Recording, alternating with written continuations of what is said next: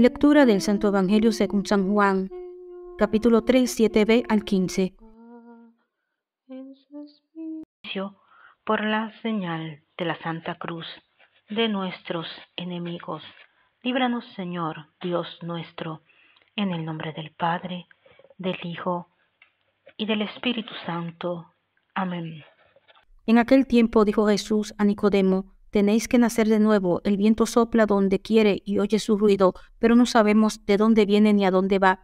Así es todo lo que ha nacido del Espíritu. Nicodemo preguntó, ¿Cómo puede suceder eso? Le contestó Jesús, Tú eres maestro en Israel y no lo entiendes. En verdad, en verdad te digo, hablamos de lo que sabemos y damos testimonio de lo que hemos visto, pero no recibís nuestro testimonio. Si os hablo de las cosas terrenas y no me creéis, ¿cómo creéis si os hablo de cosas celestiales? Nadie ha subido al cielo, sino el que bajó del cielo, el Hijo del Hombre.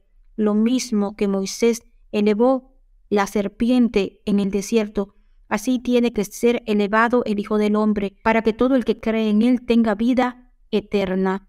Palabra de Dios, gloria a ti, Señor Jesús.